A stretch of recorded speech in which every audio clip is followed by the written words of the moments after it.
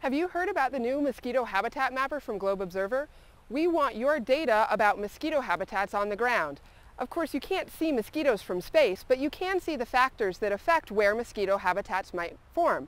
Precipitation, temperature, uh, soil moisture, all of these things can be tracked from space and used to model where mosquito habitats might be found but we need your help to figure out where they actually appear. The first step is to look around for mosquito habitats. We're looking for water. This could be a natural source, like a pond or a puddle, or even water in tire tracks, or it could be trash left on the ground by human beings. Anything that collects water, as small as a bottle cap, is a potential mosquito habitat. So how do you identify a mosquito habitat? First of all, download the Globe Observer app on your phone. That will walk you through the steps to identify mosquito habitats.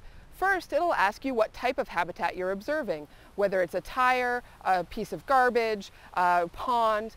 Then you can take a picture so that we know exactly what type of habitat you're looking at. After you've identified the mosquito habitat, the next step is to look to see if you actually see mosquito larvae. We're having you look for larvae which do not transmit disease, but you may want to wear long sleeves or use bug repellent to make sure you're safe from any adult mosquitoes that might be around. All you need to collect a water sample is a cup or a syringe or some other way to scoop out the water.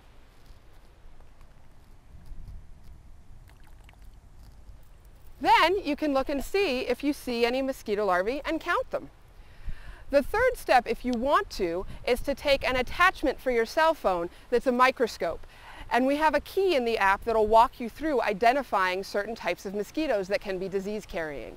This is not required because it does require some extra equipment, but if you're interested, we'd love to have the data about what types of mosquitoes you've seen. And finally, what we want you to do is eliminate the breeding habitat if you can. Dump out the cup of water that had larvae in it or cover it with a, put a lid or a cover on the container. Anything you can do to prevent mosquitoes from breeding at that particular site.